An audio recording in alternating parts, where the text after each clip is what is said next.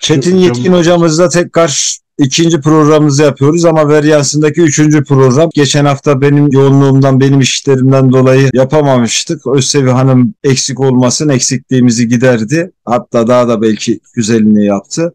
Hocam hoş geldiniz tekrar. Hoş bulduk. Sizi Veryans'ında ağırlamaktan büyük onur duyuyoruz hocam. Çok böyle heyecanlı oluyorum sizle program yaparken. Dediğim gibi gençlerin tekrar tekrar Çetin Yetkin kim, Çetin Yetkin neler yazdı, neler çizdi, ne görevler yaptı. Türk devrimini, Mustafa Kemal'i anlamak açısından çok önemli yazıtları, çok önemli eserleri olan bir hocamızdır. Bizlerin kafasını ta liseden sonra fakülte yıllarında ilk okuduğumuzda bizi bambaşka bir pencereden baktırabilen. Cumhuriyet nedir? Mustafa Kemal nedir? Mustafa Kemal öldükten sonraki süreç nedir'i en net, en berrak bir tabloyu kafamıza nakşeden bir hocamızdır. Onun için çok değerli ve kıymetlisiniz hocam bizler için. İnşallah yeni gençlikte, yeni nesilde çok daha iyi okuyup görecektir diye düşünüyorum. Ben çünkü umutluyum. Bu gençlikten umutluyum inşallah. Hocam bu hafta laikliği işleyeceğiz galiba. Türkiye'ye laiklik nereden geldi? Evveliyatı neydi? Şimdiki durum ne? En iyi herhalde tahlilini siz yapacaksınız. Buyurun hocam söz sizdedir. Şimdi her şeyden önce laikliğin doğru bir tanımını yapmak lazım. Genellikle deniyor ki laiklik din ve devlet işlerinin ayrı olmasıdır. Doğru. Laikliğin bir bölümü budur. Ama bu kadar değildir. Laiklik gerçekten din ve devlet işlerinin ayrı olması ama kamu düzeni gerektirdiği vakit devletin dini uygulamalara müdahale edebilmesidir. Nitekim Burjuva laikliğinin filozofu sayılan John Locke bunu aynen bu şekilde tanımlamıştır. Ki bugün Türkiye'de onun çok yandaşı var. Böyle yayın falan da yapıyorlar liberalizmin diye. Tanımı budur. Şimdi benim anladığım laiklikte budur. Bunu böyle koyduktan sonra nereden kaynaklandığına bakmamız gerekir. Şimdi biz toplumlara ilkel toplum ve devletli toplum yani onu bazıları da uygar toplum diyorlar. Şimdi ilkel toplumun konumuz açısından özelliği toplumsal kuralların birbirinden ayrılmamış olmasıdır. Yani toplumsal kural dediğimiz vakit din, hukuk, ahlak, işte gelenekler vesaire. Bunların hepsi iç içedir.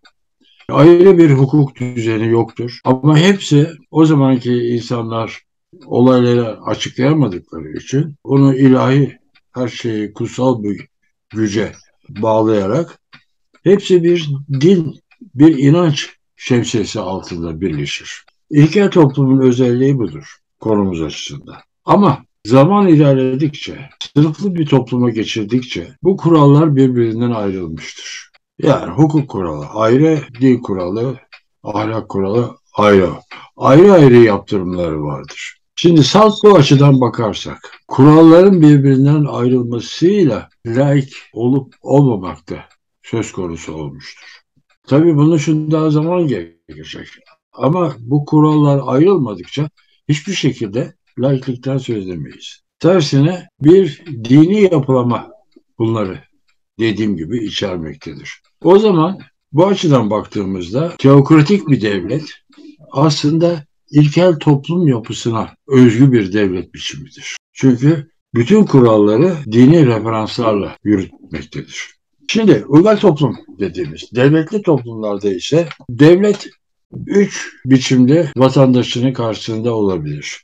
Bir, birincisi kendisi bir dini inanca sahip çıkar ve bunu bütün bireylerine uygular. Şimdi bu dediğim gibi teokratik bir devlettir ve sırf günlük yaşamı da bu şekilde planladığı, yönlendirdiği için totaliter bir devlet anlayışına sahiptir. İkinci tutum ise ilgisiz kalır bütün dinlere, bütün inançlara karşı. Bu liberalizmin kendi felsefesi. İktidar karşısında herkes teorik olarak özgürdür.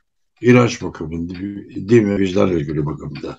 Fakat uygulamada bu böyle olmuyor. Devlet kendisi eğitimi düzenlediği için, kurallar koyduğu için ve kendi iktidarı için uygun gördüğü sürece bir inancı empoze etmeye başlar. Gerçekte bu liberal düzende din ve vicdan özgürlüğü güvencesizdir. Vardır ama güvence yoktur. Şimdi çağdaş ve modern devlet anlayışında olması gereken şey şöyle. Devlet hiçbir dinin toplum düzenini biçimlendirmesine izin vermez. Tüm inançlara özgürlük tanır. Demin tanımını yaparken söylediğim gibi ama bir dini uygulama kamu düzenine zarar veriyorsa, tehlike atıyorsa ona müdahale eder. Örnek vereyim daha iyi anlaşılacak. Mesela Hindistan'da bomba yakınlarında bir buçuk milyona kadar ulaşan bir tarikat var. Bunlar ölülerini gömmezlermiş. Ölünün evi, öldüğü evin önüne bir iki metre yükseklikte bir platform yapıp çürümesi için oraya bırakıyor. Şimdi bunun nasıl etrafa mikrop satıcı salgın hastalıklara yol açacağı besbelli. Şimdi inancımız bu diye buna devletin izin vermesi, hoşgörüyle bakması aklı başında hiçbir insanın kabul edeceği bir şey değil. E şimdi benim inancım budur deyip benim inancımda olmayan herkesi ben katlederim diye düşünürse buna da devlet engel olacaktır. Çağdaş devletin laiklik anlayışının böyle olması gerekir.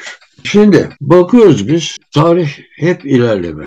Demin de dedim işte ilkel toplumdan modern devlete doğru gelişmişiz. Ama öyle dönemler oluyor ki tarihte bir duraksama hatta gerileme dönemleri oluyor. Fakat yine tarih hükmünü sürdürerek bazen de bir sıçramayla yine eski yolunda devam ediyor. E bunun en tipik örneği herkese bilinen Roma İmparatorluğu'nun çökmesinden sonra Avrupa'nın durumudur. Ama gerisi geri mesela Avrupa'da o zaman okuma yazma kaybolmuş. Cam yapamamışlar. O yüzden Avrupa'daki evlerin hepsinde kepenk vardır. Karanlık çağ denmesinin bir nedeni de cam olmadığı için ki o sırada küçük buzul çağ Avrupa'da yaşanıyor. Soğuktan korunmak için hep kepenk yapıyorlar. Ev, evlerin içi kapkaranlık kalıyor. Ya yani karanlıkta yaşamış adamlar. Mesela krallar bile o zaman imza atarken şöyle bir çarpı işaret yaparlarmış. Ondan sonra Avrupa'da nasıl geliştiğini görüyoruz. Şimdi ama bu gerileme veya duraksama yerel olabilir, bölgesel olabilir, evrensel olabilir. Şu an içinde bulunduğumuz zamanda ne yazık ki hem evrensel hem bölgesel hem yerel bir gerileme içindeyiz. Şimdi İkinci Dünya Savaşı'nı bittiği zamanki değerlere, bugünkü değerlere bakın. Birleşmiş Milletler için kurulmuştu? Bugün nereye geldi? Kültür ve sanat ne halde?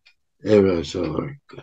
Ya Almanya protestanlığında bir şeyi Papa bir Almanya ziyaret edip de bir konuşma yapacağım diye bir buçuk milyon yanılmıyorsam Alman yağmurun altında saatlerce bekledi Papa şey yapacak diye konuşacak diye dedi. Konuşsa ne olacak, konuşmasa ne olacak? Şimdi e, Türkiye'nin 1938'den bugüne geldiği durum ortada. Yani bir gerileme çağındayız. Gerileme çağında olunca ister istemez geride kalmış olan bir takım yapılar tekrar canlanır. İşte Türkiye'de bugün bu tarikatların, abuk sabuk şeyhlerin ki sözlerini psikiyatrise götürsek hemen psikiyatri kliniğinin tecrit koğuşu olur. Ama bunlar rağbet buluyorlar. Hatta böyle devletin yetkili kişileri oturuyorlar filan. Üniversite rektörleri ağırlıyor. Bu ne kadar geriye gittiğinin yoldur. Şimdi bu arada 1923'ten sonra bizdeki laiklik karşıtı en önemli ilk gelişme Şehzait isyanı. Şehzait isyanı bize birkaç şeyi öğretir. 1925 malum. İrticanın siyasete nasıl alet edildiğini gösterir. İkincisi irticanın bölücülükle nasıl iç içe olduğunu gösterir. Dış etkilerin irticadan nasıl ve ne yönde yararlandıklarını hatta kışkırttıklarını gösterir. İrticanın ulusal çıkarlara nedenli zarar verdiğini de ortaya koyar. Şimdi İngiltere'nin Şeyh Said isyanını desteklediğini, Şeyh Said'in de oraya İngiltere mektup yazdığını falan herkes biliyor artık. Ama öte yandan mesela Musul ve Kerkük, Kerkük sorunu bu Şeyh Said isyanı yüzünden elimiz zayıfladığı için istenilen sonuca ulaşamamışlar. Ulusal çıkarlara bu kadar ağır bir zarar vermiştir. Şimdi bu isyanın zemin bulmasında bir başka faktör de Terakkiperver Cumhuriyet Fırkası'nın o sırada kurulmuş olması. Şimdi bu fırkanın kendi tüzüğünde fırka dini inançlara saygılıdır diyor. Bunu Atatürk'ün izlediği çizgiye muhalif olarak ortaya koyuyorlar. Yani muhalefeti sloganı olarak koyuyorlar. İşte bu ortamda da şey Said isyanı ortaya çıkmış oluyor. Şimdi laiklik karşıtlığının şu duruma göre Türkiye'nin ülkesi ve halkının birliğine, bütünlüğüne yöneldiğini, buna bir tehdit oluşturduğunu ve bir yandan da dış destekli olduğunu açıkça görmekteyiz. Ve üstelik çoğu zaman da bölücülükle birlikte irtica ortaya çıkmaktadır. Şimdi Cumhuriyet tarihimiz üçüncü aşamadan yani çağdaş devletten geriye gidişin tarihidir. Örnek vereyim. Diğer dişler o kadar ikide bir dile getiriyor. Diyanet İşlerini Atatürk kurmuştur diye. Diyanet İşlerini Atatürk kurdu ama bugünkü gibi davransın diye değil. Bu tarikatları, bilmem şeyleri filan zapturat altında tutsun. Dinin yanlış uygulamalarını engellesin. Bunun için kurmuştur. E şimdi verdikleri fetvaya bakarsak maazallah yani. Şimdi laiklikten geriye gidiş. Neden? Veya soruyu şöyle sorabiliriz. Neden irtica? Şimdi bunun dediğim gibi dış nedenleri var iç nedenleri var.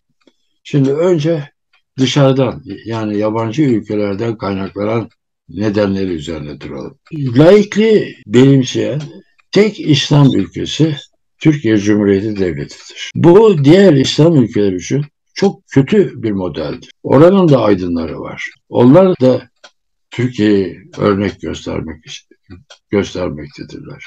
Bu yüzden bu model başarısız olmalıdır onlar için ellerinden geleni yapmalıdırlar ve yapıyorlar. Arap ve Fars milliyetçiliği. İslam'ı milliyetçiliğin bir perdesi olarak kullanırlar. Burada bazı yazarları açıkça e, yazar. E, ve İslam kültür emperyalizmini yaymaya çalışırlar. İran için ayrıca İran sınırları içinde yazar, yaşayan Türkler, Azeriler büyük bir sorundur.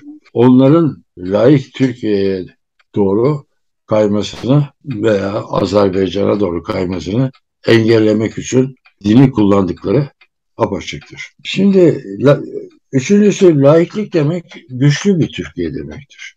Neden? Bir defa din ve mezhep bölünmesi ve çatışması olmaz laik bir ülkede. E, Türkiye'yi güçsüz kılmak istiyorsanız bu çatışmaları görüklemek gerekir. E, şimdi Mesela halifelik kaldırılacağı sırada İngiltere müdahale etmiştir. Kaldırmayın aman diye. Ona ne? İslam dünyasıyla sorunlarıyla uğraşıyor. En yakın adamlarını Türkiye'ye yolladı. Bunun için uğraştırdı. Bunun bir başka örneği mesela Hümeyni'yi Fransa barındırdı. Fethullah Amerika'nın adamı olduğunu herhalde bilmeyen kalmadı. E, Şeyh Nazım Yıllarca İngiltere'de kaldı Kıbrıs'tan kovulduktan sonra. Sonradan geldi tekrar. Ve e, tabii yeşil kuşak teorisi Amerika'nın orduya attı. O zamanki Sovyetler Birliği'ni İslam, radikal İslam ülkeleri çevirmek komünizme karşı. Türkiye bundan çok payını aldı. Arap-İsrail çatışmasında da e, din unsuru gündeme getirildi. Yani bunu Müslüman Yahudilik çatışması olarak gösterildi ve tabi Müslümanlık dayanışmasıyla insanlar harekete geçirildi. İç bakımdan bakarsak en önemlisi Arap ve İran kültür emperyalizminin Türkiye'deki etkileridir. Ya o kadar. Mesela bir üniversite hocası şöyle yazmış.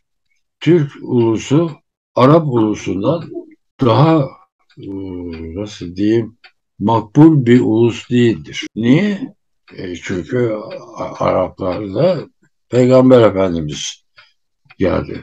E şimdi peygamberin aynı zamanda Türklerin peygamberi Arapların değil ki. Yani adamın kafası nasıl taştan çalışıyor. Şimdi o, o, o yüzden Osmanlı Araplara kavmi Necip demişti. Geçen sefer de söyledim.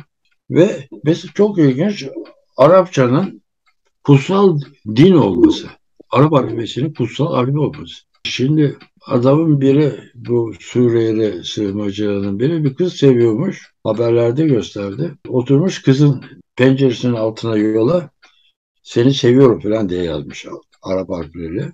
Şimdi sabahleyin işe gidenler ve arabaya binenler orası Arap harfi olduğu için üzerinden geçmeyip kenarından dolaşıyorlar. E şimdi bu kültür emperyalizminin ne boyutlara vardığını gösterir. E, hele Arap alfabesinin kutsal bir alfabe olduğunu düşünmek e, ve buna dayanarak değerlerimizi yatsımak e, baştan aşağı kültür emperyalizminin çok açık bir göstergesidir. Şimdi hemen söyleyeyim. Arap alfabesi İbrani alfabesinin gelişmiş halidir. İbrani alfabesi de çivi yazısının gelişmiş halidir. Zaten Arap alfabesi ile İbrani alfabesi de sağdan sola yazılır. Harfler aynı şekilde söylenir ve üç sesli harf kullanılır. Şimdi bunun neresi kutsal? Mesela Allah yerine Tanrı denmesine karşı. Ama Allah kelimesinin Kaldece'den, Aramice'den geldiğini düşünmüyorlar. Hiç yani bu bir kültür emperyasının bir cehalet zemini üzerinde nasıl yükseldiğini kanıtıdır. Bir profesör de şöyle yazmış. Diyor ki Arap alfabesi diyor sağdan sola yazılır. Bu e, eylemden yürüye ifade eder. Mübarek adam İbrahim alfabesi de sağdan sola yazıyor. Yani Yahudiler de mi aynı nimetlerden yararlanıyorlar? Yani bu korkunç bir zihin yapısıdır. Şimdi parasal çıkar için işbirlikçilik irticaya yol açar. Halkı uyutmak ve bundan avantaj sağlamak. Ulusal bilinç yoksunluğu irticanın ve laiklik karşıtlığının bir başka e, nedenidir. Mesela millet ve ümmet üzerinde durmuştuk. Bunun giderek nasıl Türk düşmanlığına döndüğünü, ee, mesela bir yakın tarihten örnek vereyim. Süleyman Nazif şöyle diyor. Benim bir kızım olsa asla bir Şii'yi tecviz etmem. Yani onunla evlendirmem. Ee, ama bir Türk'le evlendirmem. Ama bir Şii benim makbul damadım olur diyor. Yani Şiilik Türklükten soyutlamış ama Türk'ü o kadar şey görüyor ki kızını bir Türk'le asla evlendirmeyecek. Bu dikkat ederseniz zaten bu gerici çevrelerde açık bir Türk düşmanlığı kendini gösterir.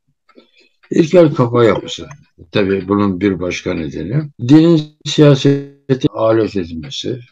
Hem kişisel çıkar bakımından hem de siyasal çıkar bakımından bu. Batılı emperyalist güçlerin kışkırtması, işte böl ve yönet meselesi. Buna işbirlikçileri. Bu şekilde iç ve dış nedenlerle Türkiye geriye doğru gitmektedir. Elbette bir sıçramayla buradan çıkacaktır. Ama şu anda görünen köy kılavuz istemez. Bu yalnız dedim ya tarihsel sürecin gerilemesi zaman zaman söz konusudur. E, yalnız bu laiklik meselesinde değil, diğer alanlarda da sanayide şeker fabrikalarını satıp dışarıdan şeker alan e, bir ülke he, herhalde ileriye doğru değil, geriye doğru gidiyordur. Şimdi önemli bir konuya bu laiklik açısından değinmek istiyorum.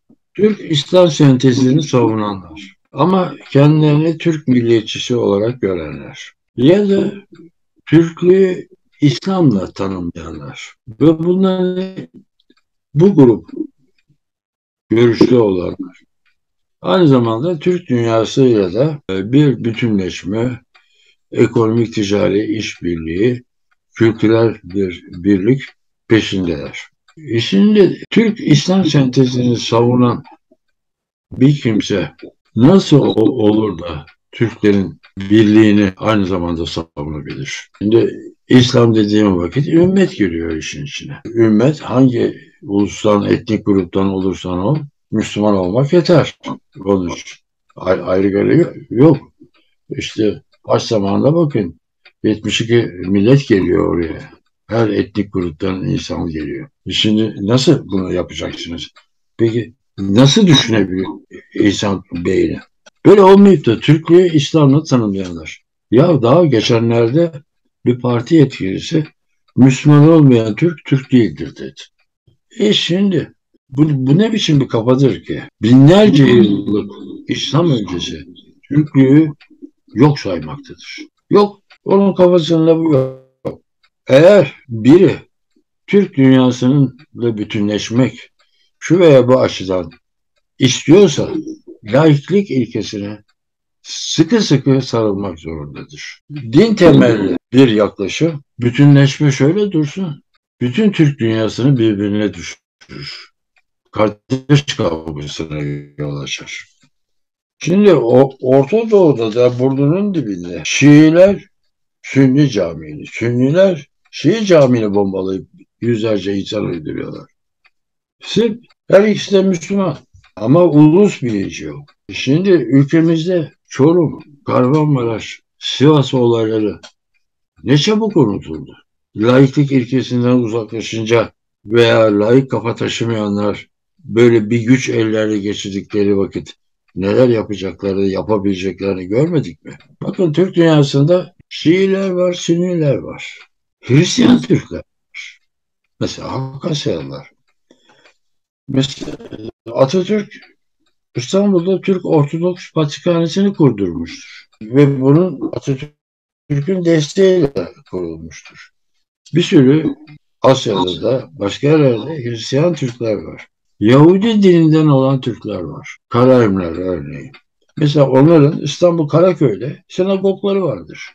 Şaman inancında olan Türkler var. Şimdi hangi dinle bunları birleştireceksiniz?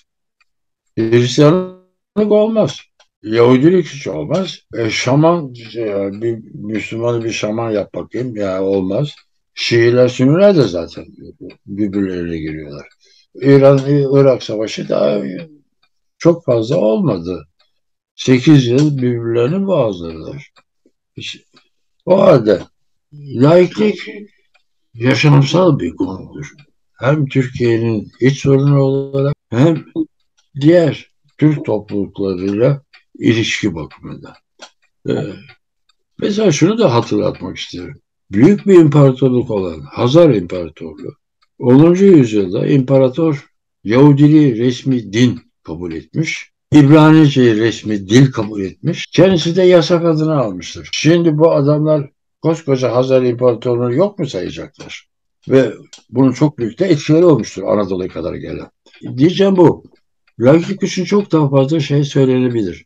Ama ortaya çıkışına da Avrupa'da ortaya çıkışına da şöyle bir göz atarsak şimdi burjuvazi gelişirken ticaret bilenler e, karşısında kiliseyle işbirliği yapan bir asilzade sınıfı vardı. Senyörler vardı. Bunlar dini kullanıyorlardı. Halkı yönetmek için, toprağa bağlı olarak çalıştırmak için, vergi almak için. Bu asilzadelerin, senyörlerin elinden bu gücü almak için Burjuvazi laiklik ilkesini ortaya attı. Ve bunun için mücadele edildi. Çünkü laiklik olmazsa kral ne, ne diyordu? Ben Tanrı'nın yeryüzündeki temsilcisiyim diyordu. E, bana karşı çıkan Tanrı'ya karşı çıkmıştır. İşte Atatürk'ün laiklik ilkesini temel devrim ilkelerinden biri yapması altında yatan birçok gerçek vardır. Ama en önemlisi birlik ve bütünlüğün ancak laiklikle sağlanabileceğidir. Evet, benim şimdilik sözüm bu kadar. Genel çerçeveyi koyduk galiba hocam. Ee, daha derinlemesine tartışmak için tersten sorularla gidelim istiyorum yani. Laiklik derya bir konu. Yani ilkel komünal toplumlardan feodal toplum, kapitalist toplum derken tarihsel süreç içerisinde çıkmış. Söyle, biraz önce ifade ettiğiniz gibi egemenliğe ortak olma adına burjuvazi tarafından ulus devlet modelinde, milli devlet modeliyle oluşturulmuş bir ideolojik inanış diyelim ya da pratik diyelim. Ama geldiğimiz noktada Burjuvazinin de bugün laikliğe dair özellikle herhalde son 40 yıldır, son 50 yıldır, son 60 yıllık serüveninde Burjuvazinin de laiklikten terk ediş, laikliğin gerisine düşüş gibi çıkarsal menfaatsel ilişkiler dolayısıyla göz yumması, tasfiyenin yani cumhuriyetin tasfiyesinde ya da bu ideolojinin tasfiyesinde inanılmaz derecede o gerici sınıf dediğimiz o feodal ilişkilerden yana olan cemaatle tarikat yapılanmasına bırakın önüne geçmeyi destek olmuş ve ticari ilişkilere girmiş bir burjuvazi var diye düşünüyorum. Katılır mısınız bu tahlil hocam? Doğrudur. Şimdi burjuvazinin Avrupa'da laikliği savunması muhalefet yıllarına özgüdür. Evet. Mesela onun savunduğu ulusal devlet e, mesela Marksizme göre Burjuvazi o tarihte üretim güçlerini geliştirdiği için devrimci. İlerici. Evet. Fakat Burjuvazi iktidarla bir defa ele geçirdikten sonra durum değişmiştir. Çünkü e, iktidar yalnız asker ve polis gücüyle ayakta durmaz. Yani ideolojik silahlarla da ayakta durur. E, bunu Karl Marx gayet güzel ifade etmiş. Yani sizin sorunuzun aslında tek cümlelik yanıtı o. E, din kitlelerinin afyonudur demiş. Yani kendi iktidarını sürdürebilmek için.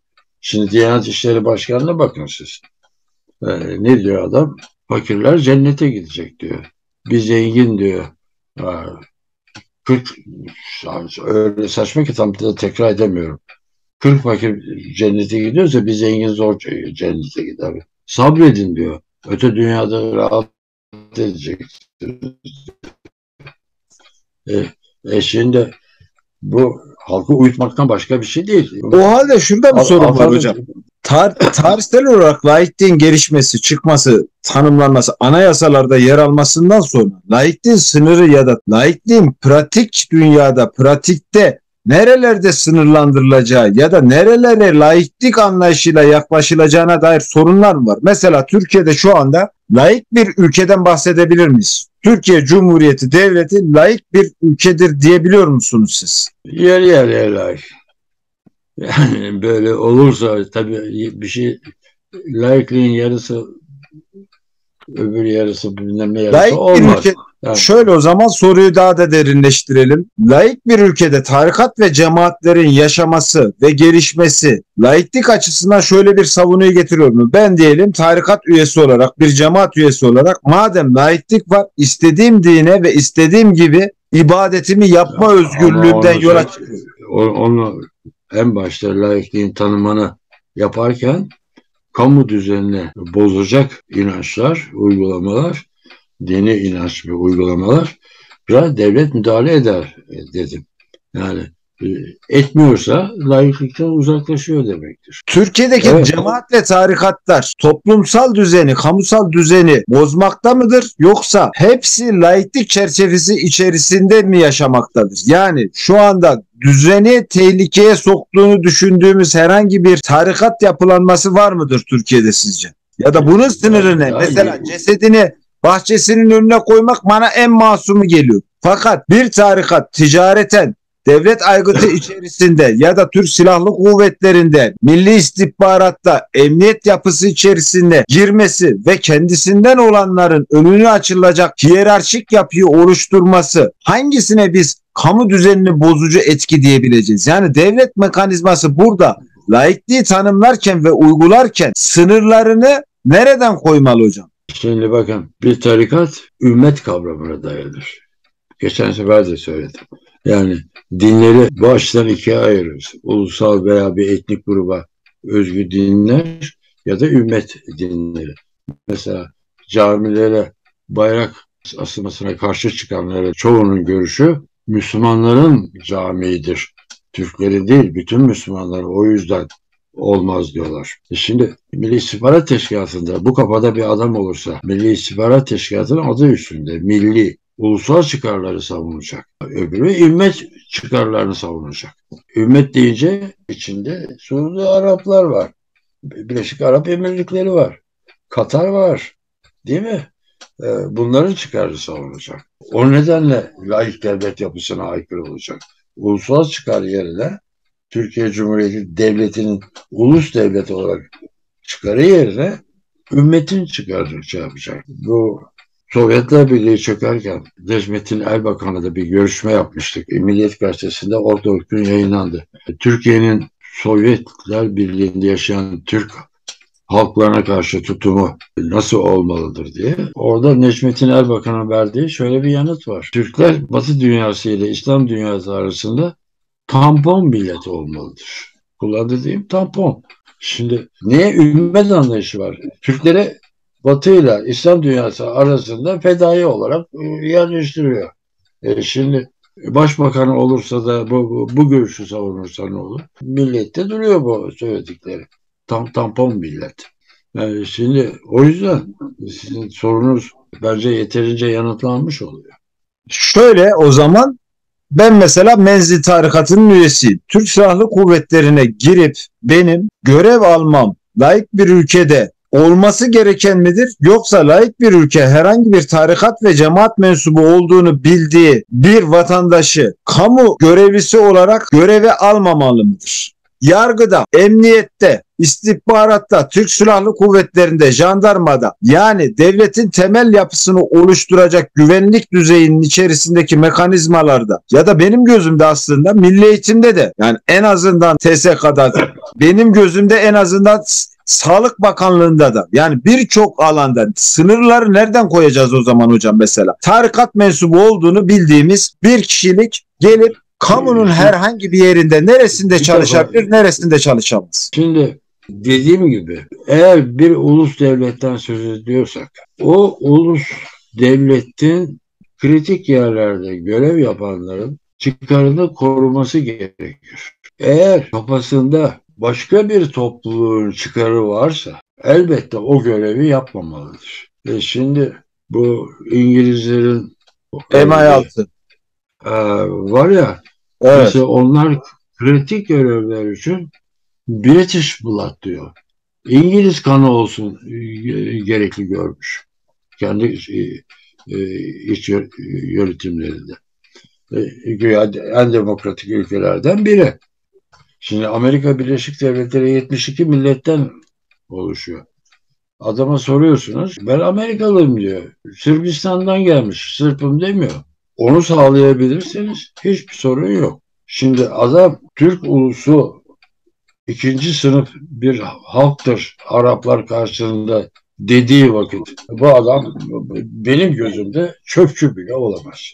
Yani çöpçülüğü hor gördüğümden değil. Sorunuzun yanıtı budur yani. Ben şöyle... Şimdi, burada yanlışlık şurada başlıyor. Ve biz de bir takım aklı evvel aydınlar bu tarikatları sivil toplum örgütü dediler. Ya sivil toplum örgütünün ne olduğunu bilmeden bu yaftayı tarikatlara yapıştırırsan tarikatlar nereye gelir? Şimdi bakın Fethullah Gülen olayı. Ne oldu? Devleti ele geçiriyordu az daha. E şimdi ordudan Fethullahçı subayların çıkarılması yanlış mıydı? Yani iyi kötü hala bir anayasamız falan bir şeyler var. O, o da ortadan kalkacaktı. Bu konu açık bence yani. Bu konular zaten ben şöyle düşünüyorum hocam. Bu konular yeterli tartışmalar ve yeterli ideolojik omurganın oluşmamasından kaynaklı öyle bir noktaya geldi ki laiklik söylemi din dışılık ya da tanrıya açılmış, dine açılmış bir savaş taraftarları gibi yaftalandı. Ve buradan toplumun cepheleştirilmesi yapılarak siyasal İslam'ın tarikat ve cemaatlerin iktidarı kuruldu. Yani zaten sorun belki de sizin tanımladığınız gibi 1938'den sonraki tarihin geriye doğru dönüşü bu coğrafya açısından Anadolu Türkiye Cumhuriyeti açısından tarihin geriye doğru gelişinden kaynaklı biz hem sosyolojik hem kültürel hem de idari yapıda inanılmaz bir gerilemeye ve parçalanmaya doğru giden bir süreçte karşı karşıyayız. Cumhuriyeti kanıksamış ve Türk vatandaşlığını kanıksamış hangi din, hangi etnik grup ne olursa olsun, adam Ermeni olsun, Bulgar olsun, adam taşa tapsın, Müslüman olsun, Yahudi olsun ama Cumhuriyetin ötesine geçmeyecek, Cumhuriyet temelinin dışına çıkacak herhangi bir yere mensupluk, bağlılık, ilişkisi olan kimseyi kamu düzeni içerisinde yer aldırmayız diyecek irade kalmış değil. İnanılmaz bir durumdayız. Yani geldiğimiz nokta bugün Türkiye'de tarikat ve cemaatler Türk Silahlı Kuvvetlerinden emniyetine, yargısına kadar kişilerin alınması ve yükseltilmesinde referans kaynağı olmuş. Artık bırakın tarikat ve cemaatten birini çalıştırır mıyız? Tam tersi referanslı buralar oluşturuyor. Biz evet. çıplak gerçeği en yakıcı dille koyup ya şu mu kırılır, bu mu üzülür, işte şuradan oy kaybı mı olurun dışına çıkıp Cumhuriyet, Mustafa Kemal Atatürk o altı ok, altı ilke denilen meselenin ne olduğunu net bir şekilde koyamadığımızda, gençliğe biz Cumhuriyeti ve devrimi anlatamadığımızda geleceğimiz nokta bu. Bunları bile konuşamayacağımız bir yere doğru geleceğiz. Yani ne oldu da biz ne oldu da evet. laiklik, ne oldu da bu anayasa, ne oldu da bu cumhuriyet tasfiyeye girdi? Hangi kırılma noktası neydi? Kimler nerelerden ne taviz verdi? Türk burjuvasının buradaki dahli nedir? Türk Silahlı Kuvvetleri'nin bu konudaki dahli nedir? Milli İstihbarat Teşkilatı'nın bu konudaki dahli nedir? Türk aydınının bu konudaki dahli nedir? diye bir yargılama, sorgulama ve tarihi bir eleştiri yapmazsak önümüzdeki süreçlerde aydınlık yolları açabileceğimize, cumhuriyet yolunu açabileceğimize çok inanmamaktayım. Olacaktır sıkıntılar, dertler, gözaltılar, şunlar bunlar ama biz cumhuriyeti tekrar inşa edeceksek diyorum hocam en önemli meselenin laiklik meselesi olduğunu ve bunu büyük bir cesaret ve büyük bir tarihi kazanım olarak Türk aydınlarının arkasında durması gerektiğini, Türk gençliğine bunu tekrar tekrar anlatması gerektiğini düşünmekteyim. Şimdi çok doğru söylüyorsunuz ama önce ana muhalefet partisine bakalım. Evet, ee, en en sert kılıcı mesela oraya vurar. Laikliği savunuyor mu? Laikliğe darbe üzerine darbe indiriyor. Darbe üzerine darbe indiriyor. Şimdi bu yetmez ama öğretçiler. Onlar neye benziyor biliyor musunuz? İran İslam devriminden önce İran'daki komünistler Tüde Mollaları destekledi Şah'a karşı. E, iktidar değişir değişmez o TÜDE üyeleri kaçamayanlar vinçlere asıldılar. Bizim burjuvazi kiminle işbirliği yaptığını çok iyi bilmesi lazım. Bunların hoşgörü, hoşgörü falan bunlar palavradır. O, olmayan şeyler. Şimdi bu sizin söylediklerinize aynen katılıyorum. Ve ben şimdi iç ve dış nedenleri derken aslında nasıl bu noktaya geldiğimizi de söyledim kişisel çıkar dedim. Yani CHP'deki kırılma Cumhuriyet devriminde Mustafa Kemal'den sonra CHP'deki kırılma ne zaman başlamıştır hocam? Karşı devrim diye nitelendirdiğimiz o tarihin gerilemesi dediğimiz nitelendirdiğimiz kırılma ne zaman başlamıştır sizce? Şimdi ben Atatürk'ün ölümüyle birlikte başladığını söylüyorum. Ancak bunun sistematik olarak gündeme gelmesi 1947 CHP kurultayıdır. CHP kurultayının tutanaklarını CHP kendisi yayınlamıştır. Ben de var. Satır satır okudum. Şimdi orada bizim bugün ne kadar kaygı duyduğumuz şey varsa hepsi yer almaktadır. İsmet Paşa katılmadı kurultaya. Ee, neden katılmadı? Ama hem milliyetçilikten, hem laiklikten, hem devrimcilikten hepsinden orada nasıl ödün verilmesi gerektiği teker teker karara bağlanmıştır. 1947 CHP kurultayı. O zaman şöyle yapalım hocam. Gelecek haftaki konumuz 1947 CHP kurultayından itibaren alınan kararlar ve o kırılma noktasını Cumhuriyet devriminin nereden nereye doğru götürüldüğünü, evrildiğini buna dair önümüzdeki hafta bir program yapalım. Önümüzdeki haftanın programı bu olsun konusu. Sonraki hafta yapalım biraz bir şeyler karıştırayım. Tamam. Yani o kadar kolay bir ödev değil verdiniz. Estağfurullah hocam. Önümüzdeki, önümüzdeki hafta, hafta zaman neyi önümüzdeki haftaya neyi görüşüyoruz, neyi konuşuyoruz hocam? Laikliğe devam edelim mi? Laikliğin Türkiye içerisindeki pratikleri ee, nedir, Şimdi ne değil? Devrimler dediğim ben onun üzerine biraz gitmek istiyorum. Tamam Daha hocam. sonraki hafta alacağımız konu da ona uygun. Şimdi ne demiştim geçen hafta? Asılık devrimleri demokrasinin önündeki engelleri kaldırmak, demokrasinin önünü açmaktı. Şimdi bu yapılmadı. Yapılmayınca bugünkü demokrasimiz ne oldu? Yani demokrasi diyoruz ama bakalım ne, ne kadar demokrasi var. Buna ele almak istedim. Tamamdır hocam. Çok teşekkür ederiz bu hafta için hocam. Çok sağ olun. Eklemek istediğiniz bir şey varsa Buyurun hocam. Yoksa hemen hemen bir saat oldu. Programımızın sonuna geldik. Yok be, yeterince konuştuk. Çok sağ olun. Ben de teşekkür ederim. Ben teşekkür ederim. Haftaya görüşmek dileğiyle inşallah. Çok teşekkür üzere.